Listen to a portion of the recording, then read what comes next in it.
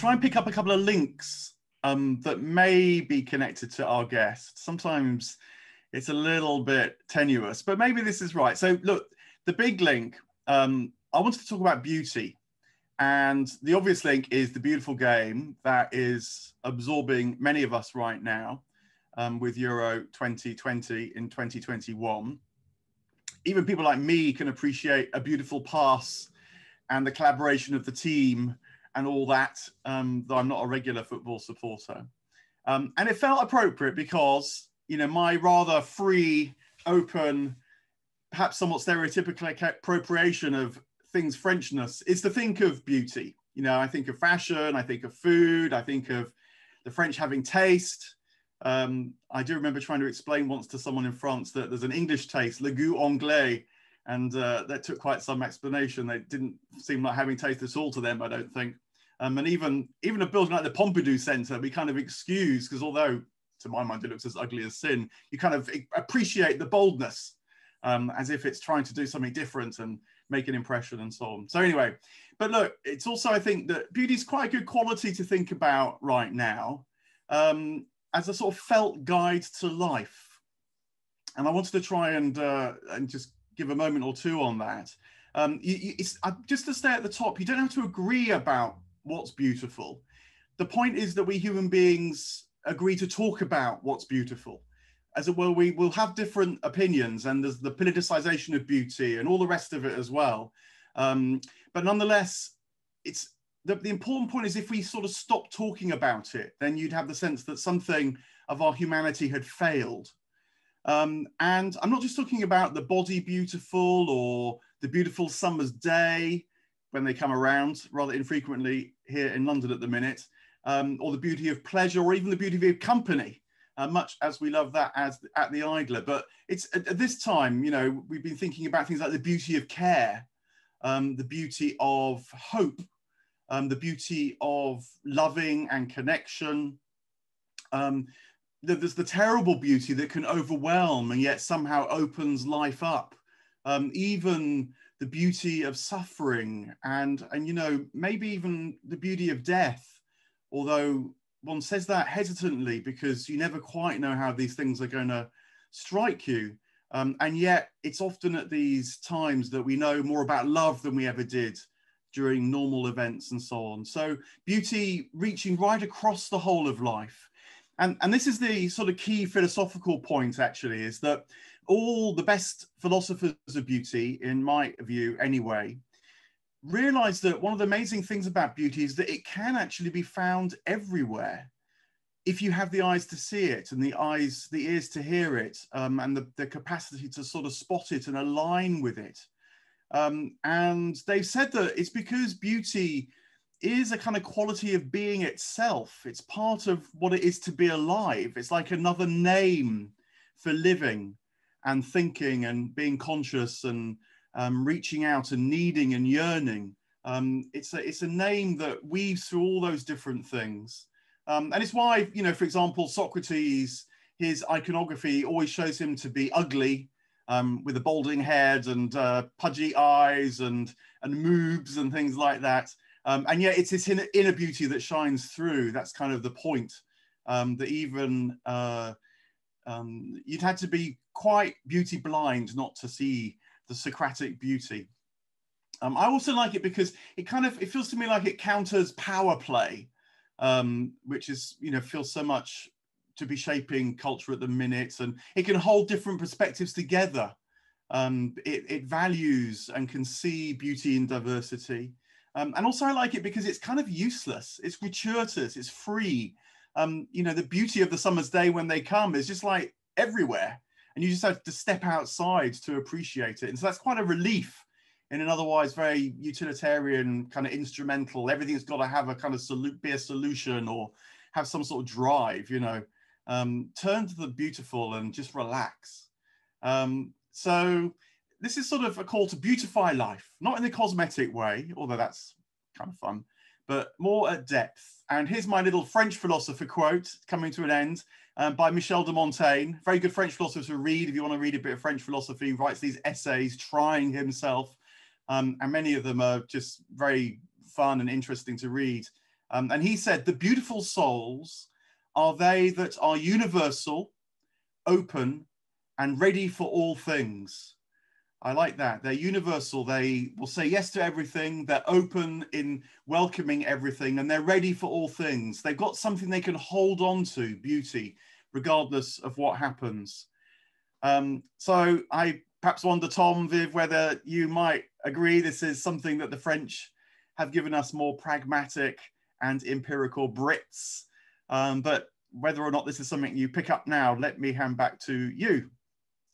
Well, thanks, Mark. And we are an anti-utilitarian magazine at the Idler, and uh, that's why I really enjoyed Viv's book because it's really a, it is a celebration of the way the French live, I suppose. Um, the title Au revoir tristesse. I'm, I'm not going to talk for the whole way through. I will let you talk in a moment, Viv. By the way, the title of this of your book is Au revoir tristesse, which is obviously a play on Francoise Sagan's novel written when she was 17 um, and that's your first chapter, and it's all about really just about how she sort of grabs hold of life, isn't it? I mean, what was it that just go back a little bit? I know you talk about it in the book, but could you tell us when you first fell in love with this sort of insouciance uh, de, of, of the French? Mais Tom, je croyais qu'on allait faire cet événement en français. On avait, on avait fait un accord. Oui, ok. Um, non, je, je parle français. I'm joking. I'm joking. Okay avec toi. Um, I, wanted see, I, wanted to see, how you would react to that. Bienvenue tout le monde. Bonsoir. bonjour à nos amis aux États-Unis. Welcome to everybody. Uh, don't worry, don't worry. We're not going to do this in French. Or I think we should. If people want to ask uh, questions in French later, we should. We, we, um, we, we, yeah, can have a French. Yeah. So your your question was about why, basically, why write this, uh, and I love that you say it's anti-utilitarian and this must be embraced. Like it's basically like saying your book is totally useless. And and I, I embrace that. Like i wanted to write something that isn't supposed to have some kind of academic um, quality to it. It isn't trying to um, add to that. There's an incredible academic body of work about all the writers that i write about in this book and i'm definitely not trying to compete with them. And for me what i wanted to do was create a love letter to reading and to our experience as readers. And as a kind of side order, it's all French. So it's a bit of a mashup between our lives as readers, which I think is something we don't think about very much. And I think is so important. I think a lot of the really key emotional and psychological relationships we have in our lives are with writers. They're with people who died hundreds of years ago. Um, but it's also a love letter to France and Frenchness. And I wanted to really give a nod to Françoise Sagan and Bonjour Tristesse because I was in my teens when I first discovered, uh, I started learning French when I was 11 at school, and I really got into French life and going on school exchanges when I was in my teens. And it was around about that time that I discovered through Clive James, if people remember his amazing TV shows on the BBC, Postcard from Paris, uh, he interviewed Françoise Sagan, and I would have seen that when I was about probably 14 or 15. And it was a huge moment for me to see this incredibly crazy woman driving at high speed with Clive James kind of whimpering next to her. Uh, she virtually knocks somebody over and, and he's like, oh, do you think you better stop the car because I think that you've just killed a pedestrian. Uh, and I just thought, oh, this is just, it's another world. You know, that whole, for me, I, I grew up in Somerset. I grew up in a small place called Bruton, which has since become extremely trendy. But when I grew up there, it was not trendy at all. No internet, no real access to being able to order books or, or you know have the life that we can have now at the, the push of a button. And for me, that exoticism of Frenchness and the wildness of a woman like Françoise Sagan, who wrote Bonjour Tristesse she was 17 and became a phenomenon, that was also inspiring to me. So I wanted to write something that would capture all of that, but that would also examine the role that these books have in our lives. And alongside that the role that frenchness has in our lives. No it, it's written predominantly for a i guess an uh, english speaking um, audience. You know it was this book was first published in america and then it's come out in the uk so this isn't really like a british take on frenchness. It's a sort of global take on frenchness where i think no matter where you come from you're expected to think of the French in a certain way, that they're the pinnacle, you know, as Mark suggested. Um, they really understand beauty, they really understand happiness, they understand sex, they understand food and wine better than anyone. You know, does this really stand up to scrutiny? And does it actually say more about us that we're willing to buy into that sell that the French have been selling us for years that they're the best? Now, would you say they are idlers? But by the way, um, let me just say to everyone out there, what the, the structure of your book, Viv, is um, 12 essays about great French writers, Camus, Victor Hugo, etc. Mm-hmm. Um, and in our chat just before this started, I was saying to you, well, you know, they're, they're, they're, they're sort of like literary essays. I mean, if you'd written those at university, you know, you would have got a first. I mean, they're, they're, they're very chatty, they're, they're packed with good gags. Um, but there's a lot of analysis in there as well. And it's the kind of thing that really should be given to A level students and university students who are, who are studying these books, or in fact, anyone before you read it. Well, thank you, Thomas. It's very kind of you. That's okay. Yeah, yeah well, I, I, I studied French and Russian at university, and for me, one of the big attractions of a lot of these books, and I'm really interested to see if um, you know people watching this identify with this as well. One of the attractions is that I discovered these books in my formative years. You know, I think a lot of people would feel the same about lots of Jane Austen's work or about Jane Eyre. You know, these are books that usually we discover when we are aged between sort of 14 and, and 21 maybe. So i'm thinking about if you're interested in, in france then you probably would read les miserables you might read madame bovary. Um, i've also got like les liaisons dangereuses in there. Uh, i've cyrano uh, camus l'étranger uh, these are all books that I think often are seen as books that you read in adolescence. And for me, that was something that was really interesting to think about is what is uh, what's the particularity about these books that we push them on adolescents and i think we sort of still do. I think we expect them to read them less now than we might have done say in the 70s 80s and 90s but we these are books that we push on people at a certain stage of life. And I always come back to these books like every 10 years I'll reread these books and I find that I change and I grow in accordance with the book. So I'll often come back to a book and rediscover it and see how I've changed in relation to the way that I read it um, when I was young. So, for example, you'll see, you'll see completely different things in it. Um, absolutely, uh, uh, yeah. Your age that you would have done at seventeen. Yeah, and because a lot of these books as well, you know, the theme of this uh, of all of these works is some kind of pursuit of happiness, which is really probably the unspoken theme of most of literature is you know how are you supposed to be happy in this life? What are you supposed to do to get through it and and not be miserable? And i found that books like um, flaubert's madame bovary the theme of happiness is really linked always to love. Um, it's really true of Madame Bovary. It's pretty much true of like the whole of Proust. Uh, love and happiness are really, really interlinked. And I think that's one of the reasons that we are attracted to these books as teenagers as well, because we're discovering for the first time what it means to be in love, what it means to have a relationship, what it means to have your heart broken. And with something like Madame Bovary, uh, you know, you read, I read that as sort of age 17, 18 when I was going up to university. And I thought all the men in it, um, you know, Rodolphe, Léon, all of Madame Bovary's lovers, were really, really hot, and that her husband was a complete loser. And that kind of is the plot of Madame Bovary, really. But then I read it later in life, you know, now as a um, I was going to call myself a dowager, but I don't even know what that means. But as a middle-aged married late uh, mother of three, I read that back and I and I you see the see the attraction of the boring men. Exactly, I can't stand Leon and Rodolphe anymore, and I don't want to go bouncing around in the back of a carriage and have baskets of apricots with love letters delivered to me. I want to help Charles Bovary, her hopeless husband. I want to stop him from from doing the clubfoot operation. So it, it helps you to see how you change as a human being, how your compassion and your empathy changes as you get older.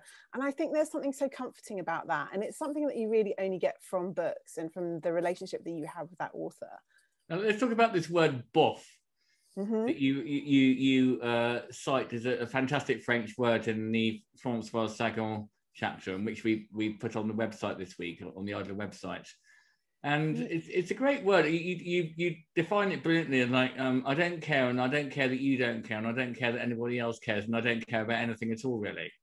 Yeah, it's Something a very like it's a really great idler word, isn't it? I mean, for anybody uh, watching, it's basically like bof. You know, it's a an okay. So, it's, let's have a quick shrug. pronunciation lesson. Is it bof or is it bof? There, there's probably like a thousand different iterations of bof. So it could be a very a sort of silent, or it could be bof. Uh, something that, and and you know anyone who's French watching will know that like a kind of bof is a real like how why are you even asking? Okay, so this? you have to you have to shrug at the same time. But if you were being kind, you might say bof, you know, and that means, oh, okay, you know, yeah. I don't really know. Uh, it can ex- express a million things. And I love that they have a lot of expressions like this in French, and they do generally sort of vocalize them and they write them down. So if you if you read Asterix, it's going to have bof in it. Um, the first time I ever realized about these kind of phrases is when I, the first time I went to a, a, host family on exchange when I was about 12 or 13. I didn't really speak very good French at all, but I was always trying so hard to listen and pick up. And I remember saying to the mother of the host family, um, Qu'est-ce que ça veut dire? What does it mean? Qu'est-ce que ça veut dire? Abadidon, abadidon. And I thought this was like A B A D I N D O N G. Why do you keep saying abadadada ding dong? Because I, all I could hear her say was blah blah blah blah abadidon, blah blah blah blah blah abadidon. What does it mean? Abadidon is a bit like both, it, it, but it means oh really? Because it means eh bien, dis donc. So oh well, uh, say therefore. Eh yeah. bien, dis donc. So these so are the like first saying, thing that you should be taught when, when yeah, you're, it, when you're yeah. Yeah, it's like saying you don't say. But if you listen to people people speaking French, they'll go blah blah blah blah blah, disons. And, and I just thought this was so funny, and I couldn't understand like why don't you get taught that at school because it makes up the majority of the French language. There's another word um, I used to get confused about in Asterix, which is B E N, which is presumably ba. ba. Yeah, well, ba is a contraction of bien. So it's like, oh. Mm, yeah, ba is a really, really, really good one like that. Now, I guess you're a fan of Call My Agent. Victoria and I've been watching, we watched the whole of Call My Agent. We thought it was one of the most brilliant things we've ever seen on television ever. Mm. Um, it's all about Frenchness. And what are your views on, on this show, Viv? Yeah, I absolutely love Call My Agent, and I nearly wore out my sort of Google search engine waiting for the last series to come because it was really uh, delayed because of COVID or whatever. Uh, and I'm really confused now about whether it's finished or not. There seems to be some rumors that there's going to be another series and there's going to be a cinema film of it. So I don't think it's over. Um, but what exists already is completely perfect, and we should be very grateful for it. It's for anybody who hasn't watched it yet. It's on Netflix and I think it's uh, it's either four four series, and it's about a group of agents, as in showbiz agents, who run an agency, and every single episode features a particular actor or actress who has a dilemma or a challenge, and it's about like a famous one, like Beatrice Dalle or someone like that. Yeah, or the Sigourney Weaver episode is is just sublime, and apparently she didn't even ask to see the script when when she was asked to do it. And they chose her because she speaks pretty damn good french actually. Uh, yeah i love it. I think the attraction of it for us um, certainly as brits i'm very interested to see other nationalities uh, watching who might be into it I think it is a brilliant example of something cultural that feels very current and makes you feel like you're in with the in crowd and you understand what French people are thinking about and what they're talking about, but it has no politics in it at all. So when you watch it, you're completely able to forget all about Brexit. You can pretend that everything's still normal. And like these people could be your friends if you lived in Paris because everything is great. Uh, and it also gives you a great little in into that French cinema world, which is just so unusual and so incredible. You know, the French cinema industry is vast, it's massive and you have all of these characters in it who we don't know about but who are massive stars in France and it can send you down a sort of brilliant Google rabbit hole looking for all of their movies. And it's just such a brilliant insight into contemporary French culture. Now, would you say that the that the French are idlers or, or, or, not idlers? I mean, they have this word oisif, I think, um, which means lazy or idle. There's also the idea of le flaneur, the flaneur who was like the sort of Baudelaire who was like to wander through the arcades with a tortoise on the lead, um, making observations. Maybe it's something about there's a sort of just a slight sense that the French are kind of like uh, both um, one step removed, you know, slightly detached and looking at life, um, you know, from a slight distance in a sort of amused way. I mean, would you consider the French to be more idler-ish than you know, the Brits in general? Yeah, it's a really tricky one, this, I think, because you can definitely argue that the French are quite good at looking very cool whilst doing nothing. And that whole flaneur idea is is very seductive of you know you just wander around the city and you read a bit of poetry and then you smoke a Gitane but i think that why we admire the french is because they do that almost as a pose. Like they do it because they want to see someone they want to know that someone else is watching them doing it. Whereas i feel like the true spirit of the idler as defined by this type of idling it's lying in a hammock and you don't care if you don't care what anyone else thinks of you. You just want to be idle. Whereas i think the french take on that would like you'd need someone to see you in your hammock otherwise it hasn't actually happened. We've gone right back to mark and philosophy here. Um, yeah the french thing is is anyone ever truly idle if someone hasn't witnessed them being being very glamorously idle?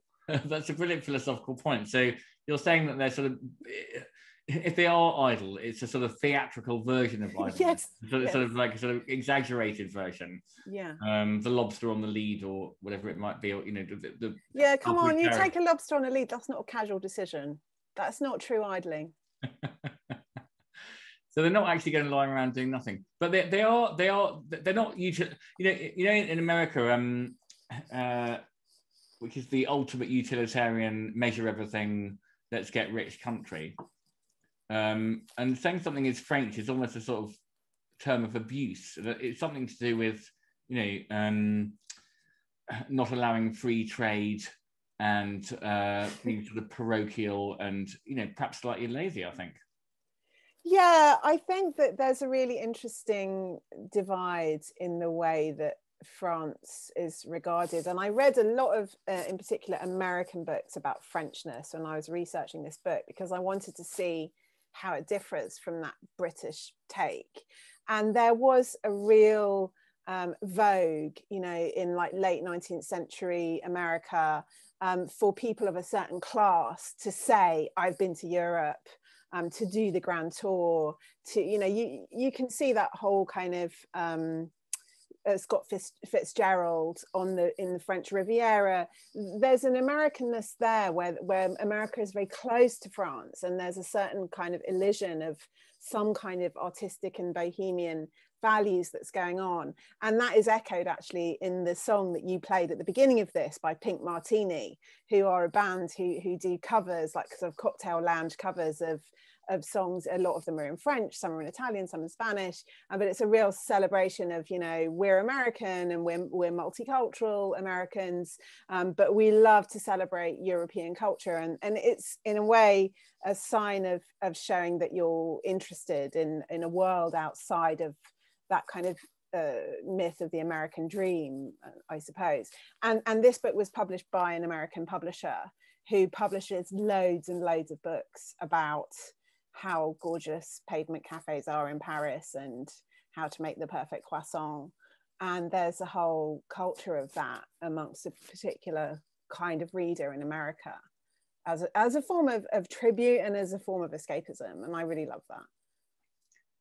So let's just go back to this idea of whether the French are idle or not. I mean, yeah, they, they, they did have this four, four day week, didn't they? A few about well, maybe, probably a long time ago, twenty years ago now. Um, Macron said something like, you know, um, uh, I will never give in to this. Uh, je ne céderai rien ni au cynique ni au fainéant.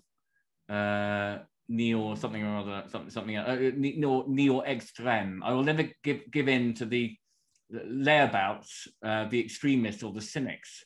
Um, so in that, that seemed to me that he was sort of actually reacting in a, uh, you know, against something, you know, quite deep in the French soul, which is like a love of lying around, being extreme and being cynical. Mm, I love that word fainéant. It's um yeah, like farniente.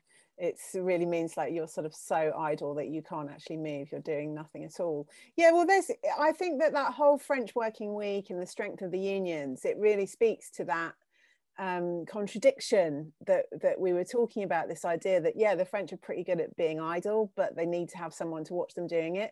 Similarly, they're very very good at conserving their working time, but they do it in a very bureaucratic and a very organized way. Whereas um, I think of the idler philosophy as being quite chaotic and as embracing like a British eccentricism mm. and eccentricity, and mm. it's not organized. So yeah, the, I think you know the French are brilliant at contradictions. They they are, you know, the happiest and most miserable people in the world. Um, you know, this is something that my American, uh, the American editor, um, Jamison Stoltz of this book said to me. He said, you know, it was a really, really sad moment for me when I realized that there are some really dodgy people who live in, in the UK. Like there are sort of people who aren't very nice. And he always wanted to think of everything in Britain as being like, oh, so lovely. And he's like, well, that is also true. I was saying, you know, that's also true of the French, that, you know, there are pockets. We've all had we've all had bad meals in France. Uh, and it's always like way more disappointing than you if you have a bad meal over here. Like when the French do things badly, they do them really spectacularly badly. um, but when they're they're good, they are really really good. What about Colette? She's one of your heroes, and I remember reading Colette and being really entranced by a quote from her, which is something like um, it was about smoking, and she said smoking simultaneously excuses idleness into your day um, uh, and, uh, uh, uh, and is also a, a, way of injecting it into your day. So she said it's a simultaneous injection and an excuse for idleness, which people call a fag break, I think. Um, but she, she was um, she was basically an idler. I mean, she's very eccentric. Yeah, Colette is a fantastic character and I feel a bit, the chapter in the book uh, is based on Gigi. So it's an examination of Gigi and how she came to write that and what was happening in her life at the time and what the book is about. And I'm a bit harsh on it because I, I'm not sure that Colette's work has really stood the test of time. You know, she was an extremely hardworking writer who was sort of put to work um, famously by her publisher of Willy, uh, and he sort of really used her as, as a workhorse uh, novelist for a particular kind of audience. She was maybe one of the first um, kind of romance novelists of the early 20th century who was kind of churning out these uh, novels for, for women, but also kind of slightly to titillate male readers. And in some ways, her work hasn't really stood the test of time because it feels incredibly um, dated and sort of semi-misogynist i would say it's sometimes quite difficult to read and it's at complete odds with her biography and i think that her biography uh, the life that she lived and the woman that she was is is almost more interesting now than her work is uh, and I really enjoyed uh, the film with uh, Dominic West and I think it's Keira Knightley who plays uh, Colette, uh, which really depicts how she was used in you know as a sort of mid mid to late teens as as a promising young woman writer, and she had to fight to reclaim that. Um, but yeah, fascinating woman and someone I really wanted to include because there were so few women writers from that period. But I think for modern readers, a problematic character. And you end the book with a, a lovely discussion of L'étranger by Camus. Um, and for him, he's the most fanciful of all the male writers in France, I think. All, all, all the male writers that you talk about, because you, you, you, don't like many of them particularly. Victor Hugo is a bit grotty and so on. Um, but Camus is sort of a, a, above reproach. Yeah, well, it's really difficult. I do really love, I love these writers. And I was quite depressed sometimes when I delved. I'd already delved quite far into their biographies when I was, you know, studying their work at university. But when I came to delve even further for the, writing this book, and I ended up, you know, ordering a book that's called Pox, the history of syphilis, to assist me with my research. You get some idea of, you know, if you were a male writer and that you know um, perhaps women would have done the same thing there just weren't very many of them or their work wasn't published but if you were a successful male writer in 19th century france you were almost certainly riddled with venereal disease um, due to your extreme associations with prostitutes. And I don't, you know, I know it's very fashionable now to bring a contemporary sensibility to everything. And I try not to do that because, you know, don't hate on Guy de Maupassant um, just because, um, you know, he did have really really terrible syphilis. Um, but he, you know i absolutely love his work and i really admire him as a writer. And i think a lot of these writers were very tortured souls.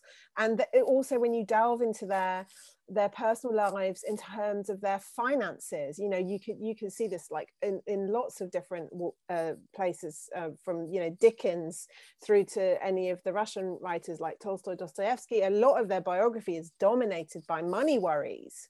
Uh, and so like the drinking and the prostitution of in that time kind of goes alongside all of that is that they're having to churn churn churn churn churn out this work uh, to keep going. So I try and re- well, would it, reserve judgment. Um, they could save money on just by cutting out their prostitute habit, uh, presumably. Well, yeah, they could, but then I guess they wouldn't be having such fun times. Not that I'm defending that. No, your, your, your other book was about uh, you did a similar thing um, previously with Russian literature. Uh, now, is, is, Tolstoy in that? I mean, I, I know Tolstoy was a, a sort of a um, you know, he was a soldier when he was young, but but he became a, a, sort of a Gandhi figure, surely, when he was older. Yeah, well, Tolstoy is is a really difficult person to talk about in terms of his morality, and like that's why I I I really do appreciate Camus and sort of like him in inverted commas as a man because his he's got some some dodgy bits in his personal story, but not very many. but Tolstoy famously um, wrote a diary which he showed to his wife on the night before their wedding. And it destroyed her for the rest of her life because it was a complete, um, detailed account of all of his encounters. And he had also had lots of venereal diseases, he had illegitimate children. Um, but he did, um, you know, famously have an epiphany while he was writing Anna Karenina and his um, him and he and his wife lost three children uh, in a row whilst he was writing Anna Karenina, and it caused some kind of spiritual crisis in him, alongside with other factors that further down the road led to him becoming this monk-like figure who did then lead uh, an almost ridiculously moral life. So he was very much a person of extremes. What about Oblomov? Does he pop up in your? Um... Oh, he's the laziest of them all, isn't he? He's the ultimate lazy. Does everyone know about Oblomov out there? I mean, can you sort of give a brief sketch of him before we go yeah, on? Yeah, I have to say, I have always avoided Oblomov because I don't like this cult around his laziness. So you probably know more about him than I do. You see. Well, he, he was, there was such a big cult around his laziness that Lenin called it Oblomovism. Um, and Lenin referred to Oblomovism as a sort of um, sickness in the Russian soul the aristocrats who sort of sat around doing nothing, and everyone everyone really should be should be working very hard. Um, but I just wonder, you know, if the author Goncharov was saying something, you know, quite nice about the Russian soul, which is the Oblomov is a very sort of gentle character. Yeah, yeah, very possibly. I prefer to look at somebody like Chekhov to think about those things. You know, you think of the characters in Cherry Orchard or Uncle Vanya, where yes they are very very good at being idle but it doesn't make them happy. And that those plays are based around examining you know our inability to be comfortable when we're comfortable. Um, and there's something you know that's really interesting about that because i think no matter what nationality you, you are you perhaps aspire to, to being idle. Um, but in in different nationalities and different cultures that is or isn't um, culturally acceptable or it has you know I, I, mean i definitely struggle to be as idle as i'd like to be because i feel as if i have like the weight of protestant work ethic and the weight of my immigrant Jewish ancestry behind me saying, no, you must forge on. Uh, so I love the idea of being idle, but I think we all have a complicated relationship with it, um, a lot of which is dictated by our, our, culture. Well, you do seem to be extremely productive because uh, as well as these brilliant books, uh, you've got, well, you've done the book about um, uh, giving speaking in public, which you did performances at our festival, I think, last year. No, no well, when it was last on to you. Yeah. Um, and you got a new podcast as well, which I think. Yeah, so I I am a ridiculously unidle person, and um, COVID has been really really difficult for me. I don't mean to like play violin like people have suffered way more than I have, but I found it really difficult because I've had to teach myself to be quite idle, uh, and I've I've taken up the cliched open water open water swimming, which has helped me with that. Um, but not being able to be busy and going about the place the whole time has been really hard for me. And yes, um, I I did a book uh, three years ago, which is also a podcast called How to Own the Room Women in the Art of Brilliant Speaking, which is a guide to all kinds of different ways of communicating with people, of performance, of celebrating uh, introverted speakers, asking what does it mean to be a great speaker, especially as a woman? Why do we tend to uh, concentrate on male speakers historically more than female speakers. And the podcast examines all of that. And we've interviewed people like Hillary Clinton, Margaret Atwood, um, Nadiya Hussain, who was fascinated, uh, fascinating on overcoming introversion and when, when she was going on uh, TV for Bake Off. And yeah, so that's been really fascinating. And before COVID, I was out on the road doing stuff around how to own the room the whole time. But then during COVID, that has turned into, of course, how to own the Zoom. So we've done lots of podcasts. How to own the Zoom. Yeah. Yeah. yeah. As it had to be. now, what are you drinking? I'm drinking, yeah, in, in, tribute to my my French teacher at university, Jean-Pierre Darrow. I'm drinking Lillet, which was his favorite tipple, um, which is, is a sort of a, I'd, I mean, don't quote me on this if you're a wine person, but it's a kind of fortified rosé or like a very, very light pale port, I would say. So you just drink it on its own with some ice. Um, there's another version of it, a similar cousin of it that's called Byrrh, B-Y-R-R-H, which is a, a red, dark red, uh, similar kind of aperitif type drink that I always remember my father-in-law um, ordering in a bar in France once. He wanted to have five beers and he actually said cinq, cinq beer s'il vous plaît. And so this woman began to pour these aperitifs. And of course, he meant cinq bières. Yeah, so I love, I love, yeah, little aperitif things. Lillet, recommended. Oh, Viv, you're, you're, just absolutely full of good recommendations for books and booze and and um, general ideas for good living. Now, Vic, have we got some questions from our lovely audience? I might just leave in yeah. actually Why, oh, go on, Mark, yeah. yeah, concludes the Can you, did, when I when I've been in France and uh, if you if someone says you know what do you do and sometimes I'll even say you know I write philosophy or something. In in France, everyone goes, "Oh right, you know what kind of stuff." And you can be in quite a provincial town and go to the Carrefour or somewhere like that, and they'll have Camus and Sartre on the little bookshop shelves. Um, whereas in this country, you know, say you write philosophy, everyone goes, "Oh, well, don't speak to me about that. I won't understand that." You know, so you know, so, so there is a kind of um, an intellectualism, or is it just is it a pride in French literature which is quite philosophical, or what? You know, what what about that culture? Yeah, I think that there is a culture of intellectualism is too strong a word, but maybe a pride in being educated that is it's very different to the Anglo-Saxon tradition. So, for example, the way that French school children are taught to write, like that their handwriting is extremely important. You have to have really beautiful handwriting. You have to be able to take dictation. You know, you do that from a very early age. And then when, once you've mastered handwriting and dictation, then uh, from sort of 10 or 11, you, you would be into doing philosophy. And philosophy is on the school curriculum and you know it's taught like english or maths uh, is taught whereas you know in this country French is no longer even on the curriculum. You know, my uh, when I was at school, French GCSE was compulsory. Um, my sister is a French teacher, and you know, French is no lo- language is no longer a compulsory uh, GCSE, except in Wales, where Welsh is a compulsory GCSE.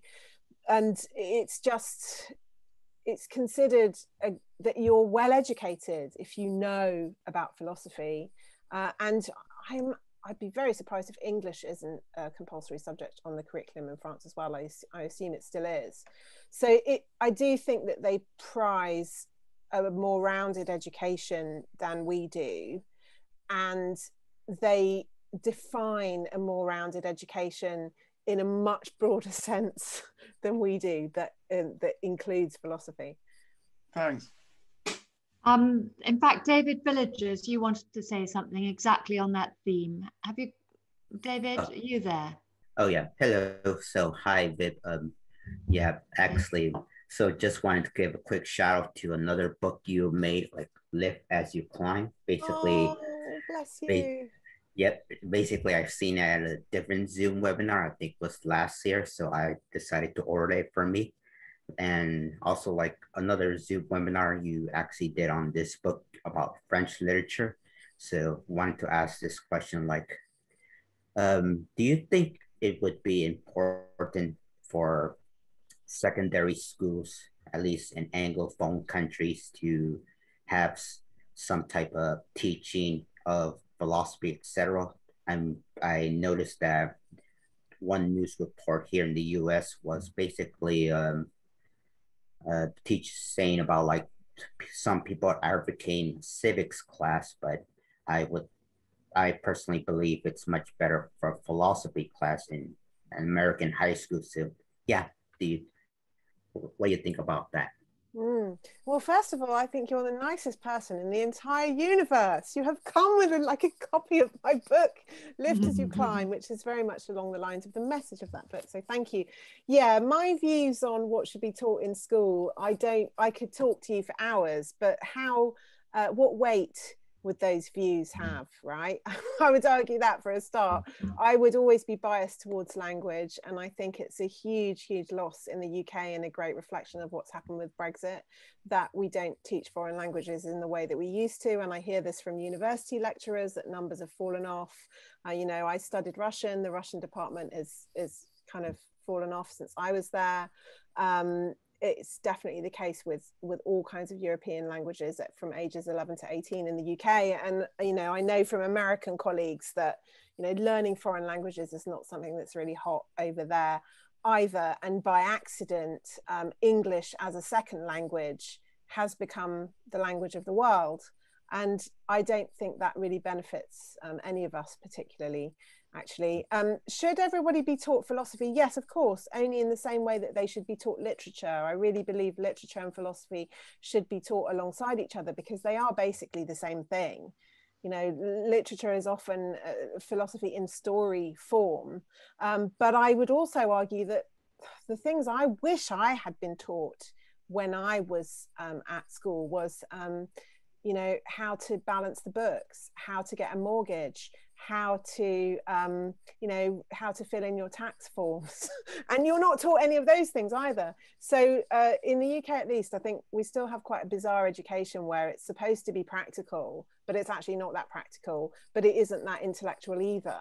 So i would really like to have much of the more airy fairy philosophy and literature and loads of practical stuff from the sort of people who are on dragon's den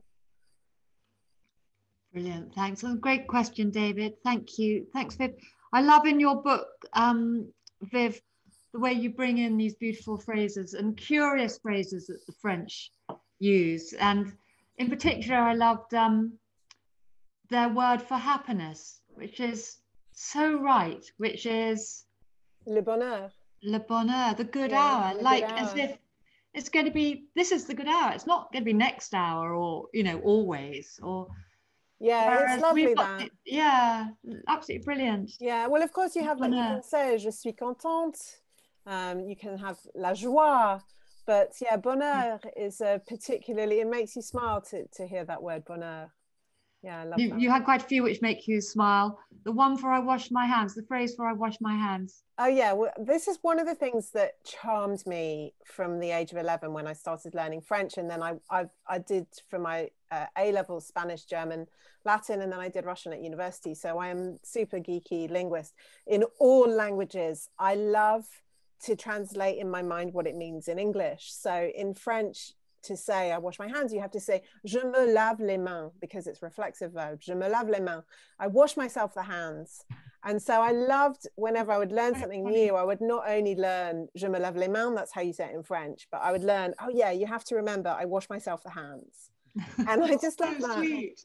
So, so uh, pourquoi would be for what, I suppose. Yeah, Um, exactly. What about exactly. next part? Is it not, not, not, not, not? no, yeah, what is, is is this not that? ne, ce, pas. I wish you were my French teacher. I wouldn't have gone off it. Oh, well, my sister is a brilliant, brilliant French teacher. Well, maybe we should get her teaching um, uh, an online course for on the Idler Academy. Definitely. Great. Well, there's a plan. Um, but Stella Sims, a bit more on Francophilia. Stella, will you ask your question, please? Sure. Um, I think I probably worded it better in the chat, but I'll try and think of it.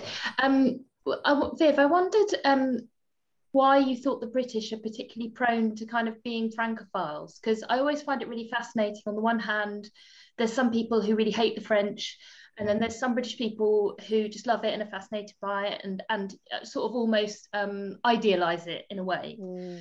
Um, I mean, do any other does this exist in Italy, Germany? Uh, Do you, would you ever get a German francophile? Like, what's specific about the British that we just love it? Um, I'd just be interested in your thoughts on that. Yeah, that's a brilliant question, and it's one I do try to grapple with a bit in the book. And a lot of it is to do with the dominance of France and French culture in the 19th century, which found its way across uh, to the United States, and it was equally, you know, dominant in Germany, Italy, Spain, everywhere.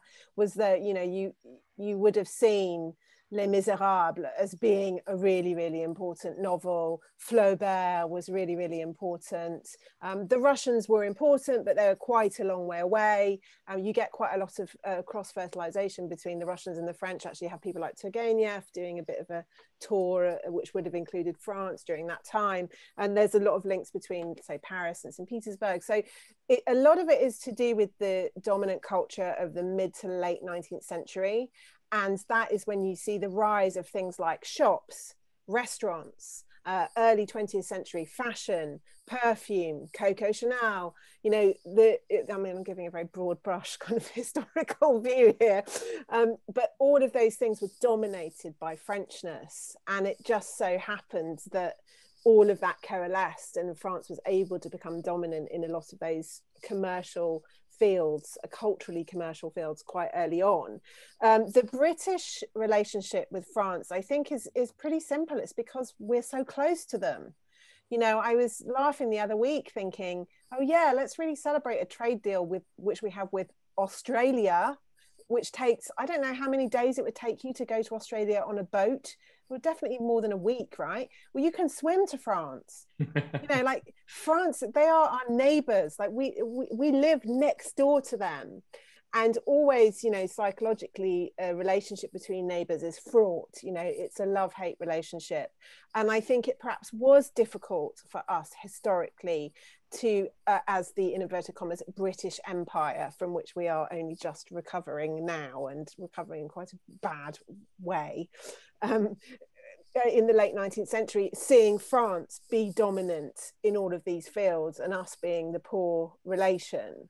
Um, and not being cool, and then you know in the late 20th century trying to reclaim everything with cool Britannia.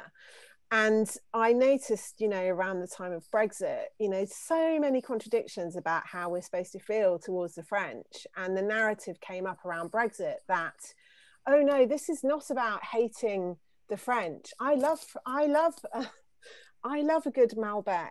You know, I have a holiday home in in the Dordogne, but I'm still voting Brexit. Like this is it, it, and that sort of drove me crazy because it made me think that you know, for some people, this love is very superficial and it's a one-way street it's we go there and we take what we want and we do what we want and we don't feel a connection whereas i think for those of us who who would oppose that and who would love to see that decision reversed in the near, near future it's about that being a two-way street that you know yeah you have a love-hate relationship it isn't always great you don't always agree about things but there are things that you love about their country there are things that you really appreciate about their culture and you're going to take the rough with the smooth you're not just going to take the good bits and sort of jet in and out when you feel like it psychologically.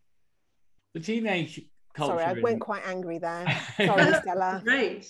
Uh, I, I, know this point has been made many, many times, but they've never done pop music very well, have they? I mean, they didn't have punk or Teddy Boys or anything like that, rock and roll. I, I mean, beg to differ. Wow, wow, and we're going to be talking about that in a minute, Tom. Can we come back to the to the Go- guys? Google Johnny Hallyday your evening will be made. That's what everyone says Johnny Hallyday. That's just one person. We have about a million amazing punk bands for one thing. Yeah, it's it is very very hard to argue against the dominance of English speaking music, um, but I've got a very high sense of camp and kitsch, and so I love French pop music from Mylène Farmer to France Gall uh, to uh, Jean-Jacques Goldman. Yeah, 1980s French pop music kid.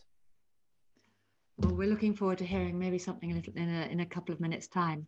But we'll just quickly try and squeeze in two more questions. Can we have Joy Warren Adamson? Please, are you there, Joy? Oh, uh, sorry, that's me actually. Oh, that's was, you. Hello. Was, sorry, I'm with Joy. I was an assistant. I was an assistant in a lycée in in the 1960s, and the third year always used to give me hell and I tried all sorts of books. And I said, well, what's the one that you really like best? And they all said, to a student, Le Grand Meaulnes. And uh-huh. does that endure as a favorite book? Because it's, you know, it, for me, it, I read it probably every year because it just gives me everything of France. And yet, actually, it's about pre First World War atmosphere, isn't it? Yeah joy you have reminded me to go back to it because i've not thought about it or read it in yeah. in years. But yeah that at one point that was a huge thing. Not now. No I, I don't know. Other people might disagree but i wouldn't say now. I, I did it for french a level le grand Meaulnes i think it was, yeah. it was it was the sort of standard a level text in the 80s yeah yeah, we had to read it. I think it must have been GCSE we had to read it. Yeah. So, yeah, just, maybe it's died now with our young. Just an extra. I find to pronounce moon. moon. When I was an when I was an assistant, there was surveillant who who mm-hmm. used to run the lycée. Do they are they still there? Because they they as along with the third years gave me hell as well because of my French.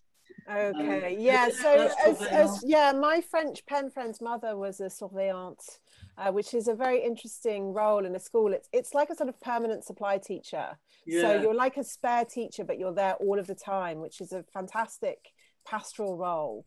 Um, yeah, as far as I know, still exists, but yeah, those guys rule the roost, so they're going to give you hell as an incomer, I would imagine. Yeah. Thank you. Well, do you know what? Um, okay, very quickly, John Sprackland, can we squeeze one more question in, Viv? Yes, of course. Um, we'll do John. Yes, John, are you there? And oh, I was going to I was going to ramble for ages about Hi, Proust, who is my great hero and will always be first on my fantasy dinner guest oh, list. Brilliant, um, but, but, not for ages. But, but thinking about Proust, um, you know, he he, um, many of his characters were, were sort of and him and him himself was an extreme Anglophile. You know, he loved Ruskin and he loved all things English. And many of his characters use these English idioms as, as an affectation. Um, very much the same way that we sort of fetishize the French. You know, Proust and his contemporaries had that attitude to the English. Mm. Oh, that's such a wonderful point. Yeah, I, I was so surprised when I first went to France in my teens and found that there were loads of French teenagers who were crazy about the cure because they're like, oh, British culture, is so amazing. You've got the Smiths and the Cure. I was like, it's just the Smiths and the Cure. But yeah, we we are more exotic over here than than we think, and there is, as you say, in French literature, a rich tradition um, of borrowing and admiring, and you know that I think that's part of the attraction that I'm trying to mine in this book and, and examine is, you know, why are we so fascinated and so in love with the thing that we can never be? Oh, well, on that note, that wonderful note, I think we should end and everybody do buy Au revoir, Trista, Tristesse. I can't even say it. Tristesse. so charming and so inspiring. And um, all Viv's wonderful curiosity and charm comes through it right the way through. So I recommend that very much. Um, will you all please unmute your microphones and give Viv an enormous round of applause and.